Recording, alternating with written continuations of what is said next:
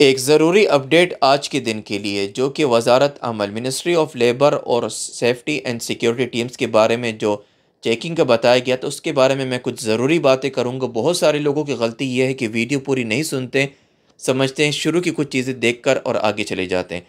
मेरी कोशिश होती जब कोई वीडियो मेरी बड़ी हो तो उसमें ज़रूरी बातें आप लोगों के लिए, वरना मेरी कोशिश होती कम से कम वीडियो। तो इसको समझे, फिर आगे लोगों तक शेयर करें। सवाल पूछने की ज़रूरत नहीं होगी इन सबसे पहली बात ये आप देख लें जो कि मिनिस्ट्री ऑफ़ लेबर जिसको वजारत अमल बोलते हैं। ये फ़ोटो आप देख रहे हैं जिसमें इस एक साइड पर मिनिस्टर बैठे हैं, वज़ीर, जो कि मिनिस्ट्री ऑफ़ लेबर के वजारत अमल के, इनके साथ सिक्योरिटी एंड सेफ्टी टीम के, का जो एग्रीमेंट हुआ था ये 11 दिसंबर 11 दिसंबर को हुआ था और आज की डेट जो मैं वीडियो बना रहा हूँ, ये है 28 दिसंबर 2023 मतलब 28 दिसंबर। थर्सडे का दिन जुमरात का दिन और कल जुम्मा फिर हफ़्ता, जो जो कि दो दिन छुट्टियाँ और समझे कि महीना ख़त्म। अब जो अपडेट है, जैसे मैंने कल नहीं, परसों मैंने इस पर क्लियर वीडियो बनाई थी और इसके अलावा बहुत सारे वीडियोस और डिटेल्स के साथ है कि आपने क्या करना है।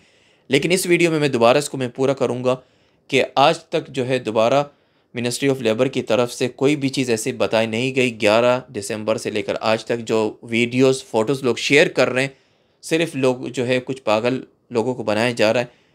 आ, मतलब अभी तक जो है ऑफिशियली कोई चीज़ नहीं बताई गई गवर्नमेंट ने नहीं बोला।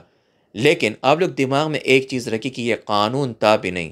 कानून ये है जो मिनिस्ट्री ऑफ़ लेबर का है वो हमेशा के लिए रहेगा। वो क्या है कि जो भी लेबर यहाँ पर गैर कानूनी तरीके के साथ कोई भी गैर कानूनी तरीके के साथ काम करे उनको जो है वो पकड़ते हैं। चेकिंग हमेशा हो रही है हर रोज़ हो रही है। तकरीबन तकरीबन कुछ महीनों से हो रही शायद हर किसी को नहीं पता, लेकिन इसके लिए आपने करना क्या है? जो आज की डेट की मैंने बात की है, आज तक कोई चेंजेस नहीं आई कि चेकिंग होगी कि नहीं।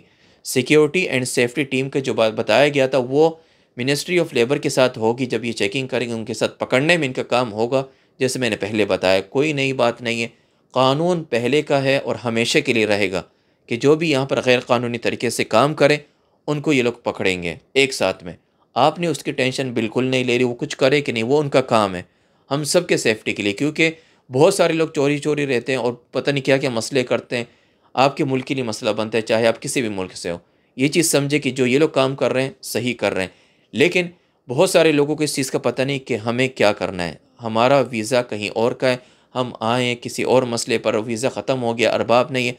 स्पेशली जो भी पाकिस्तानी भाई हैं, उनके लिए मैं आज पाकिस्तानी एम्बेसी में था। कुछ काम से वहाँ पर कुछ बात हुई, इस पर मीटिंग हुई कि कि अगर किसी के पास मसला हो आउट पास का तो आप लोग जाए, पाकिस्तान एम्बेसी लोकेशन आपको गूगल पे मिल जाएगी मदीनत काबूस में है, वहाँ पर जाके बोले कि मेरे वीज़े ख़त्म है और ये चीज़ें मुझे मसले तो वो आपके लिए कुछ हेल्प कर सकें, ताकि आप यहाँ पर रहो, आपकी वजह से फिर और और लोगों को मसला ना हो। तो ऐसे जो भी लोग अपने एम्बेसी में जाके ट्राई करें, जो भी मसले हो कि जिनको जो है मतलब आउट पास की ज़रूरत हो, वो क्या हो, इसके अलावा जो भी यहाँ पर हो आप लोग अपना एग्रीमेंट की तरतीब लाजमी रखें। चेकिंग हमेशा के लिए रहेगी। आपने अपना एग्रीमेंट तैयार रखना है कि किसी कंपनी में आप काम कर रहे हो, उसके साथ अपने अरबाब के साथ नहीं, दूसरी जगह मैंने और वीडियोज़ में पूरा बता दिए। आप जाए मेरे प्रोफ़ाइल में देखें। कानून का एहतराम करें। दोबारा बताने का मतलब ये कि कुछ चीज़ें किसी तक नहीं पहुँचती।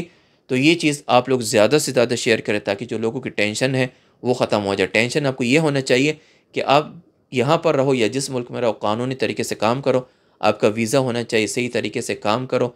जो लोग समझते हैं कि आज़ाद वीज़ा आज़ाद वीज़ा मैंने पहले भी बोला, ऐसे कोई नहीं है। आपने कानूनी तरीके के साथ काम करना है।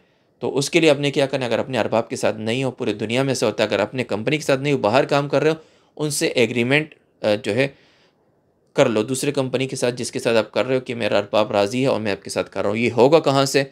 मकतब सनद, आपने जाना है, सनद ऑफ़िस ओमान में हर जगह में वहाँ पर जाके पेपर टाइप कराएँ, कोई अच्छे से सनद ऑफ़िस जाए, वहाँ से मशवरा लें, वो आपको सब चीज़ समझाएँगे कि आपको क्या वीज़ा कहाँ पर क्या कर सकते हो, ताकि, और फिर अगर दोबारा इसको मालूम पक्का करवाने तो मिनिस्ट्री ऑफ़ लेबर चले जाएँ, वजारत अमल। ये ये भी इंसान है, किसी को खाते नहीं है, कानून है तो जो चीज़ आपको समझ में नहीं आ रही अपने सनद ऑफ़िस से से बनवा लिया, फिर भी आपको समझ में नहीं आया, वहाँ पर ले जाओ, बोलो, मैं ऐसे ऐसे काम कर रहा हूँ मैं कानूनी तरीके से काम करना चाहता हूँ, मेरी मदद करें, मैं क्या करूँ?